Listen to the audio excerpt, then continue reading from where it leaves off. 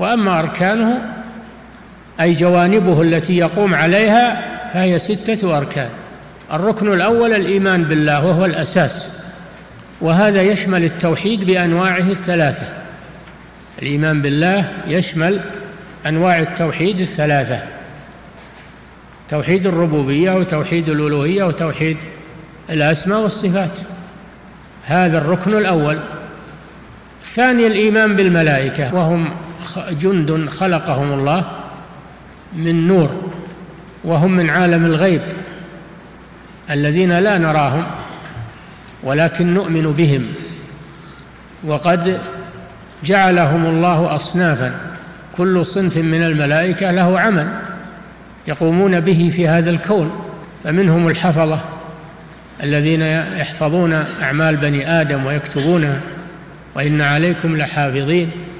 كراما كاتبين يعلمون ما تفعلون ومنهم حملة العرش ومنهم من ينزل بالوحي وهو جبريل عليه السلام ومنهم الموكل منهم الموكل بالوحي ومنهم الموكل بالقطر وهو ميكال ومنهم الموكل بالموت ملك الموت ملائكة الموت ومنهم أصناف لا يعلمها إلا الله سبحانه. وما يعلم جنود ربك إلا هو.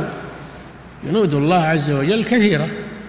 والإيمان بالكتب التي أنزلها الله على الرسل. الله جل وعلا أرسل الرسل وأنزل الكتب من عنده سبحانه بوحيه وبشرائعه وأمره ونهيه. منها التوراة ومنها الإنجيل ومنها الزبور ومنها القرآن. ومنها كتب لم يذكرها الله لنا ولكننا نؤمن بها جملة ونؤمن بما ذكره الله باسمه مفصلا وآخرها القرآن. آخر الكتب وأعظمها القرآن العظيم الذي أعجز الثقلين الجن والإنس عن أن يأتوا بسورة واحدة من مثله. هذه الكتب والرسل الإيمان بالرسل الذين أرسلهم الله بشرائعه ودينه لهداية خلقه.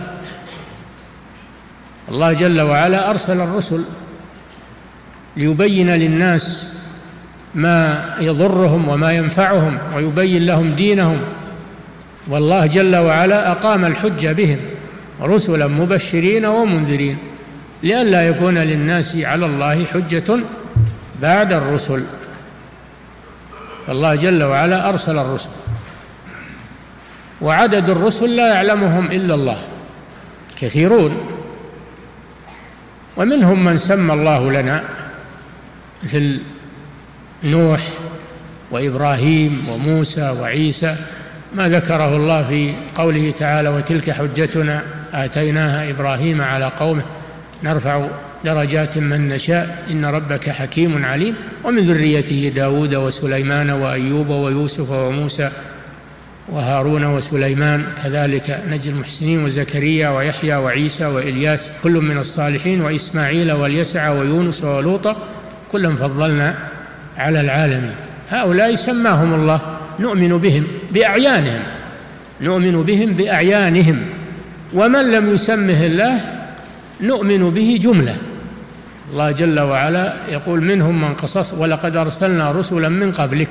منهم من قصصنا عليك ومنهم من لم نقصص عليك. فنؤمن بهم جميعا. من سمى الله ومن لم يسم منهم. من كفر بنبي واحد كفر بالجميع. لا بد من الإيمان بهم جميعا. من كفر بنبي واحد منهم كفر بالجميع. إن الذين يكفرون بالله ورسله ويريدون أن يفرقوا بين الله ورسله ويقولون نؤمن ببعض ونكفر ببعض ويريدون أن يتخذوا بين ذلك سبيلا أولئك هم الكافرون حقا. والله جل وعلا قال لنا قولوا آمنا بالله وما أنزل إلينا وما أنزل إلى إبراهيم وإسماعيل وإسحاق ويعقوب والأسباط وما أوتي موسى وعيسى وما أوتي النبيون من ربهم لا نفرق بين أحد منهم ونحن له مسلمون. هذا الإيمان بالرسل والإيمان باليوم الآخر وهو البعث بعد الموت لأن الدنيا دار عمل والآخرة دار جزاء. فالدنيا مزرعة للآخرة والآخرة دار جزاء. الدنيا دار عمل وليس فيها جزاء والآخرة دار جزاء وليس فيها عمل. فلا بد من الإيمان باليوم الآخر. من لم يؤمن باليوم الآخر فهو كافر. زعم الذين كفروا أن لن يبعثوا. قل بلى وربي لتبعثن ثم لتنبؤن بما عملتم. يعني بس تعيش بهالدنيا وتاكل وتشرب وتكفر وتفسق وت... وتروح بس. لا أمامك بعث وحساب وجزاء. فالله جل وعلا جعل الآخرة للجزاء.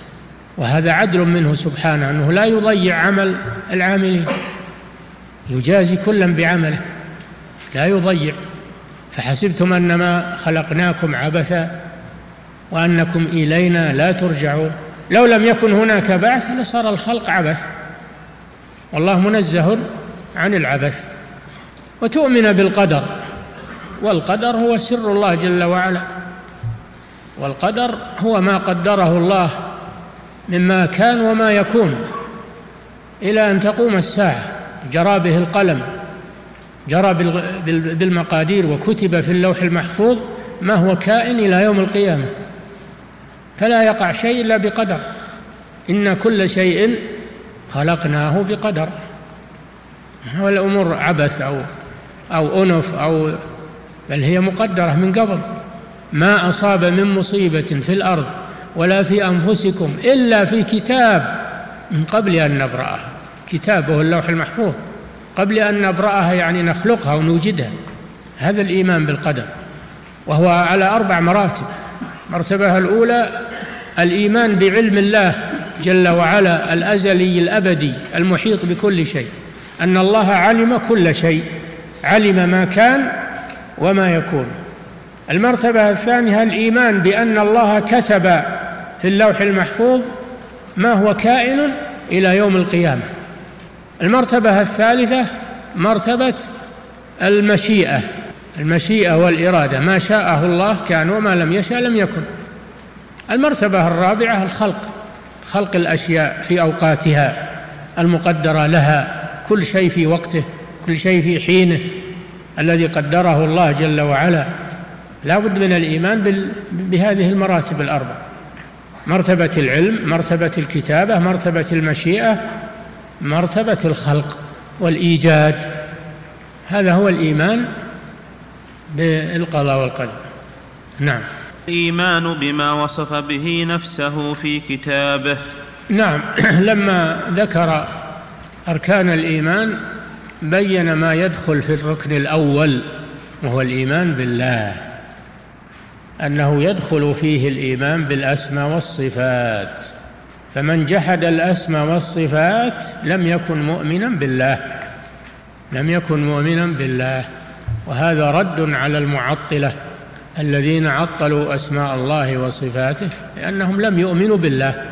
نعم. ومن الإيمان بالله الإيمان بما وصف به نفسه في كتابه. على لسان رسوله صلى الله عليه وسلم من غير تحريف ولا تعطيل. نعم. من الإيمان بالله الإيمان بأسماء الله وصفاته الواردة في الكتاب والسنة من غير تحريف ومن غير تعطيل.